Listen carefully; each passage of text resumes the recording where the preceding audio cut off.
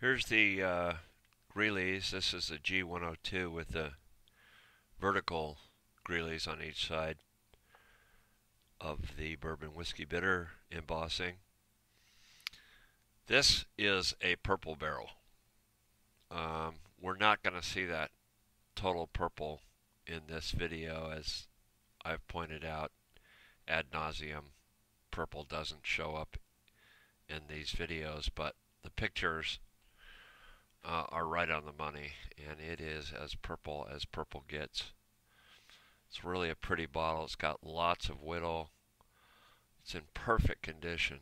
Really, there's just nothing wrong with it. It's gorgeous, very heavy, and very see-through. You can definitely see the the color. A terrific release in purple.